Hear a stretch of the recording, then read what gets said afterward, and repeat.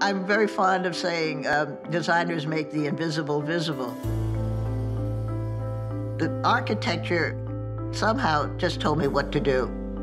It's like a big painting. You start with one corner or one line, and you just, and then it tells you where to make the next line, and that tells you where to make the next line. It was not called super graphics. It was just Bobbie was painting something.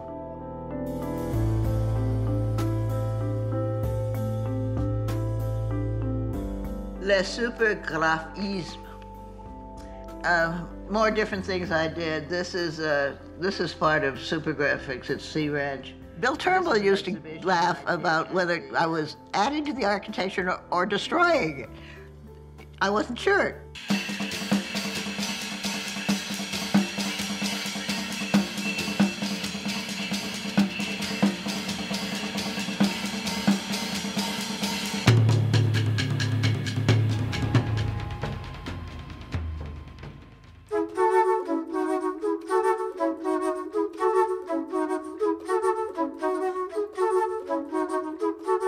Trained as an artist and as a ballet dancer. In those days, women didn't talk. Women were told to be quiet and look good. That's what I did.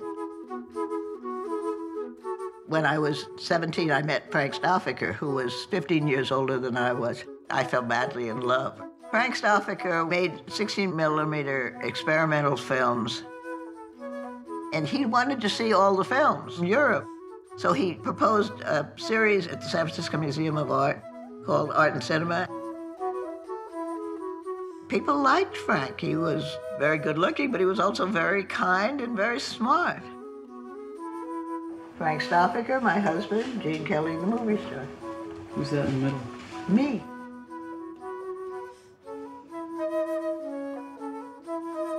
Yeah, the way it just happens that way.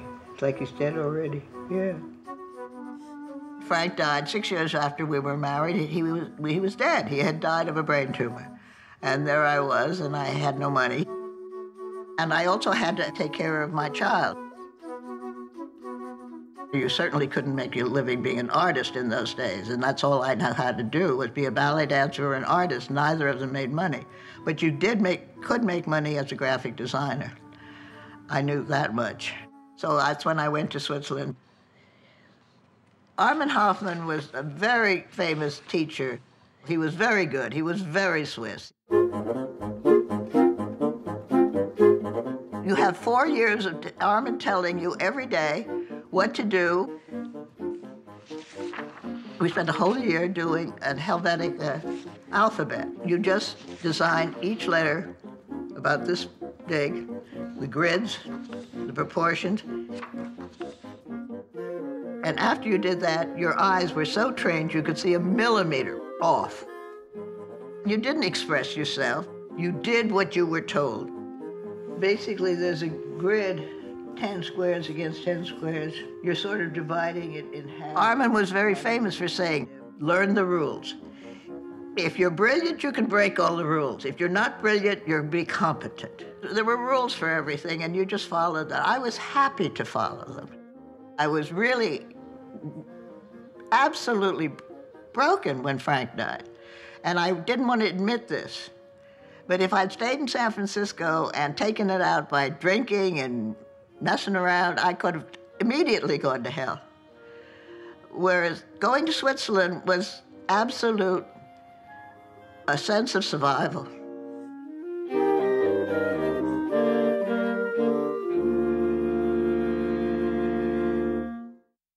Tell me about how you got to this graphic design. This layout here is obviously incredibly informed by your Swiss training. Yes, totally.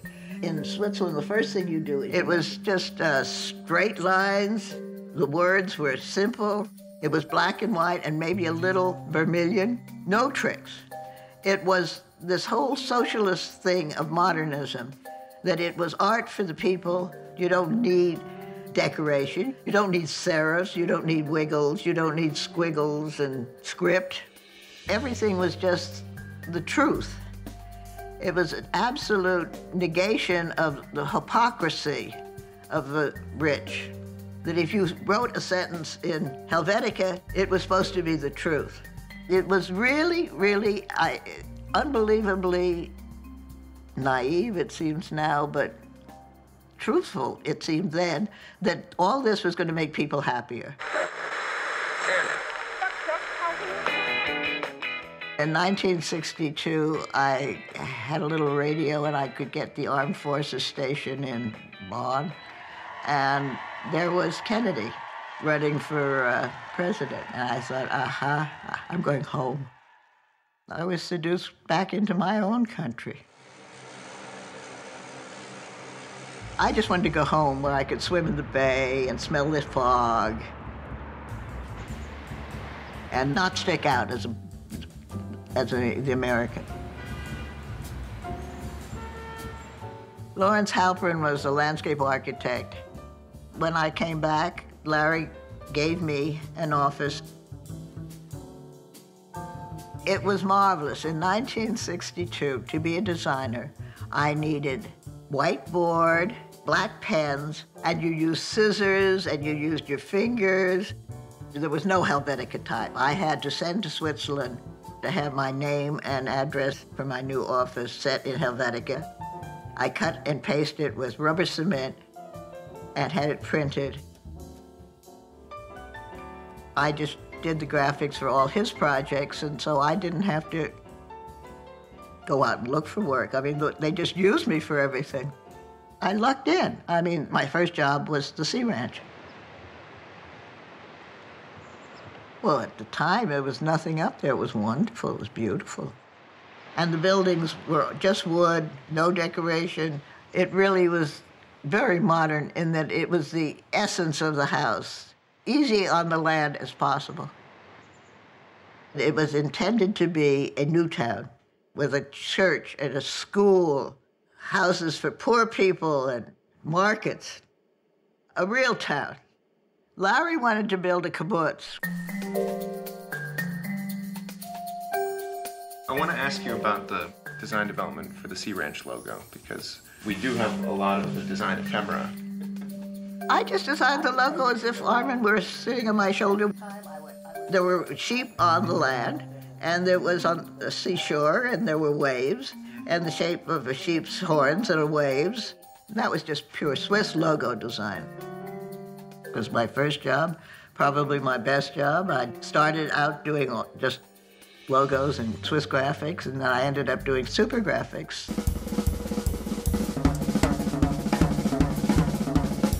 I did super graphics because of the money problems at Sea Ranch. They had done the swim and tennis club. They didn't have enough money to put a finishing coat of um, architectural something or other. Al asked me if I'd paint it and make some designs or something on it. And I said, sure.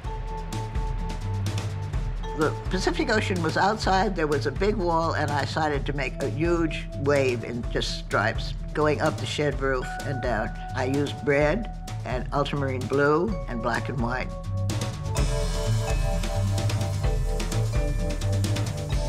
I was being a Swiss. I was doing everything Armin had taught me to do. Except I was doing it in California. It was big, it was bold, it was happy.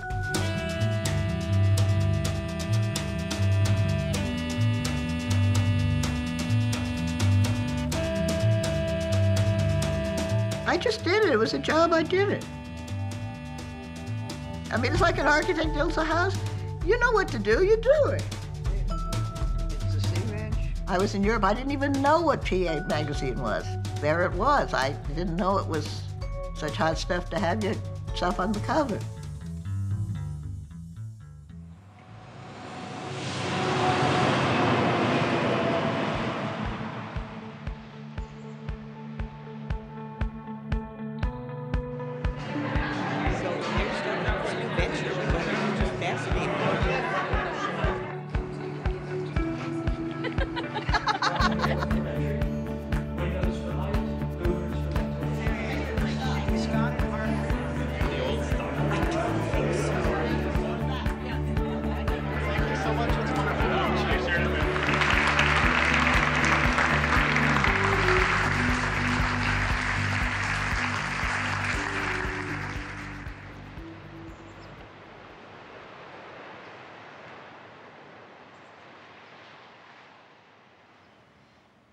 Think the original intentions were very nice, but it didn't work out that way.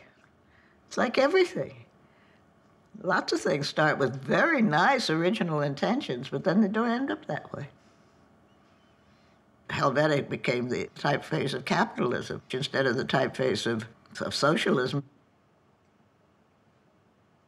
It's like modern architecture was made for making housing for the poor. Corbusier, but it ended up being only the rich could afford it in America, and so it became the architecture of the rich. It might have been that by then the salesmen were taking over, mm-hmm. and they they that's when the whole theories, all the whole concept of the Sea Ranch changed from being a new town, mm-hmm. which to Al it was a new town, and to Larry it was a kibbutz. Mm-hmm. And then when the salesman took over, it was second home real estate right. development. It's all real estate. And that's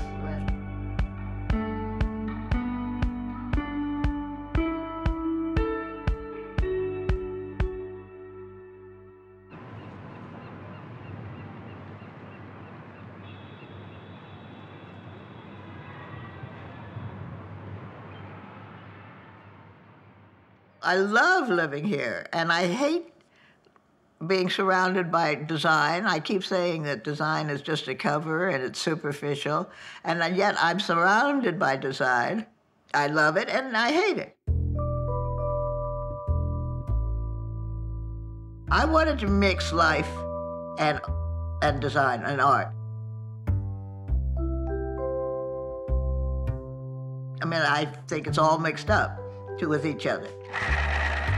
Writing the memoir I found very interesting.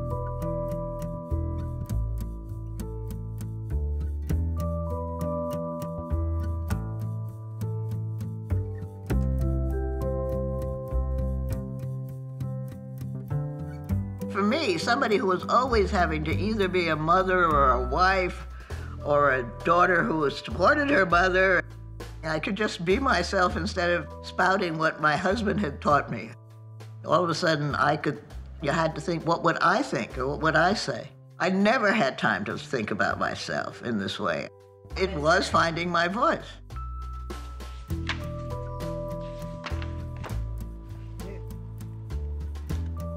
It's much easier to be older. You just don't care as much.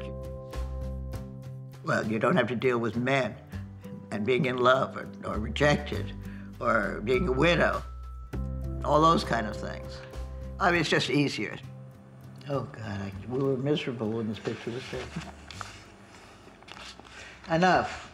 I can't stand anymore. Come on. I give up. I'm having a good time now making these books. I can say anything I want and more or less do anything I want. and it's not so serious. It was just a game of playing on a page and totally silly, very seriously silly. Going back to the guys I knew when I was married to Frank, the Dada guys, Man Ray and Hans Richter, all those Europeans that were very profound and very silly. Somehow all that went into my baby head, and, and now in my old age, it's coming out again the whole absurdity of it all and the humor of it all.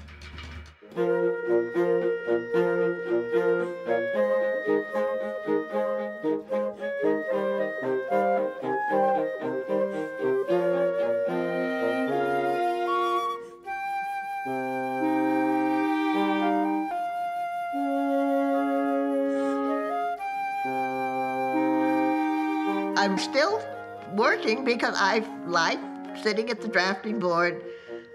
I love the weekend before last where I spent Saturday and Sunday in my pajamas doing this mural, this 63 foot hunk of art. It was fun to do it. I like the work. I like the doing of it. I don't believe it's going to save the world. I like doing it.